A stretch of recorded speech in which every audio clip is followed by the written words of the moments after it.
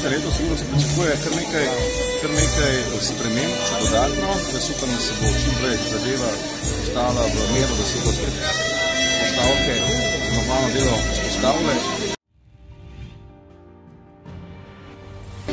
Izzivov je veliko, ne, ne le kako dovoliti potrebam svojih strank, ne, temveč tudi zaposlenih in vse ostalo.